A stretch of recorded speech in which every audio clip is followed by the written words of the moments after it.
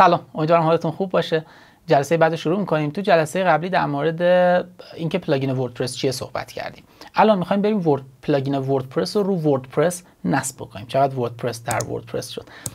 می‌خوایم بریم پلاگین وردپرس رو نصب بکنیم. چند تا روش مختلف داره که می‌خوام روش های مختلفش رو بهتون توضیح بدم. چطور می‌تونیم پلاگین های وردپرسی رو سایتمون نصب بکنیم؟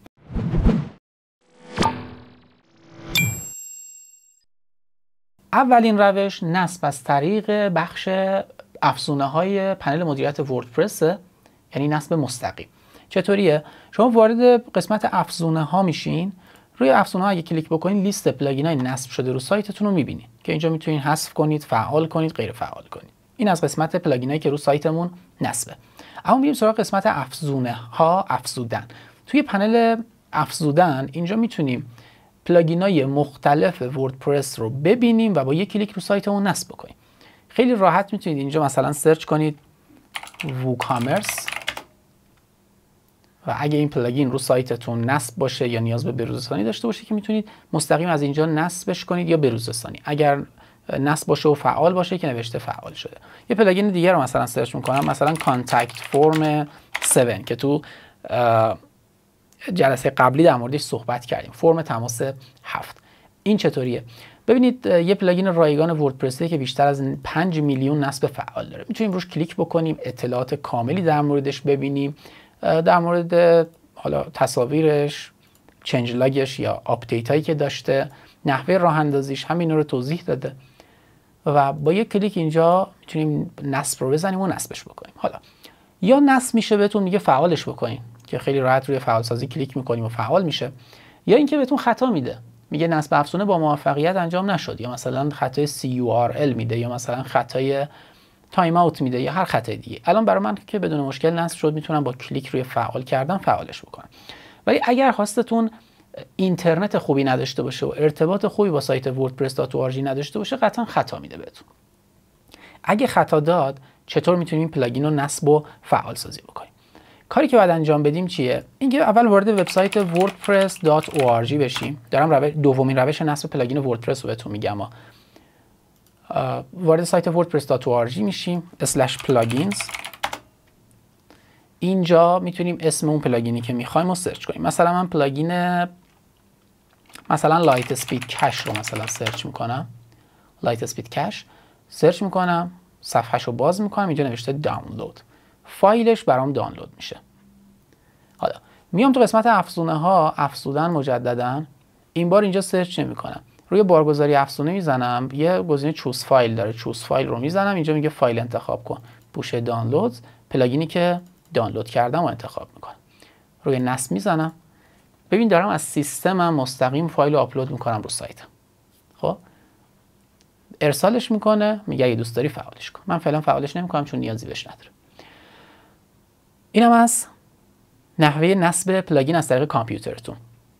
اگر یه پلاگینی بود که خریدینش مثلا از میهن وردپرس پلاگین میهن پنل رو خریدید یا مثلا از هر سایت دیگه ای فرق نمی‌کنه. یا رایگان دانلود کردی. پلاگینی که تو مخزن نیست. پلاگین های حرفه‌ای که پولی هن.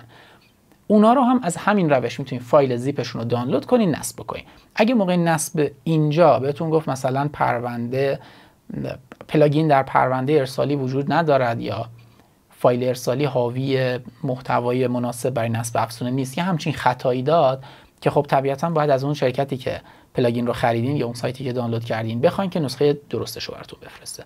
یا شاید هم پوشه بندی ها structure ش ساختارش درست نیست. این از حالا همه چی okay ه بدون مشکل اینجا آپلودش می‌کنیم. پلاگین هم هیچ مشکلی نداره فایل زیپش ساختار و همه چیزش okay ه ولی اینجا بهتون خطا میده. مثلا میگه مثلا یه خطای معروف و رایجی که میده چیه؟ فایل ارسالی از حجم قابل آپلود تو سایت شما بزرگتر است. یا مثلا میگه یه بار دیگه امتحان کنید. یا مثلا میگه که timeout میده. یه خطایی بالاخره میده دیگه. فایل پلاگین هم می‌دونین که هیچ مشکلی نداره. مثلا رو localhost رفتی نصبش کردی هیچ مشکلی نداره. رو host روی این سایتت وقتی میای نصب کنی خطا داره یا روی سایت دیگه بدون مشکل نصب میشه روی این سایت که میای مشکل داره. چطوری مشکل رو حل بکنی؟ خیلی راحت خیلی راحت نیست نه؟ دروغ گفتم اگه بگم خیلی راحته. ولی وارد پنل مدیریت هاستمون میشیم. همون جایی که وارد شدیم وردپرس رو نصب کردیم. تو آموزش نصب وردپرس بهتون گفتم. وارد file manager میشیم که هر control panel ی هم file manager ش متفاوت بود. اینجا وارد پوشه public HTML میشیم. پوشه WP content رو باز می‌کنیم. پوشه plugins رو باز می‌کنیم. اینجا باید آپلود کنیم. راست کلیک upload files. و اینجا فایل زیپ مثلا من پلاگین میهن پنل پرو که پولی بوده و خریدمش رو اینجا انتخاب می‌کنم و آپلود. فایل شروع می‌کنه به آپلود شدن بعد از اینکه آپلود شد کافیه. روش راست کلیک بکنیم. و گزینه extract رو بزنیم یا مثلا تو cPanel unarchive یا همچین چیزی یا extract اینو می‌زنیم. extract رو می‌زنیم. تو همین پوشه plugins extract میشه. حالا می‌تونم فایل زیپی که آپلود کردم و حذف کنم که فضای اضافی روی هاستم اشغال نکنه حالا برمیگردم توی قسمت افزونه ها افزونه های نصب شده. اینجا دیگه اون پلاگین نصب شده و فقط کافیه روی فعال سازیش کلیک بکنم و فعالش بکنم. روی فعال سازی پلاگین اینجا مثلا میهن پنل میهن پنل پرو فعال نمایید می‌زنم و پلاگین بدون مشکل فعال میشه. اگه اینجا فعال سازی زدین و خطا داد یعنی اون فایلی که آپلود کردین واقعا ساختار خوبی نداشته یا پلاگینتون مشکل داره. به همین راحتی. این بود به طور کلی نصب و راه اندازی پلاگین رو سایت وردپرسیمون. امیدوارم براتون مفید بوده باشه. اگه دوره براتون مفیده حتما برای دوستاتون بفرستین اونام یاد بگیرن چطور سایت خودشون راه بندازن و مدیریت بکنن. بریم سراغ جلسه بعدی که بی صبرانه مشتاقم که اصلا این دوره رو پروندهش رو ببندیم و خیلی سریعتر بتونین مدیریت سایتتون رو به صورت کامل یاد بگیرید شاد باشید